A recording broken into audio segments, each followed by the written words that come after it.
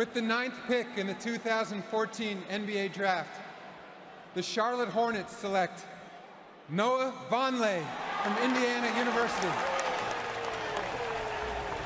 Vonleh played one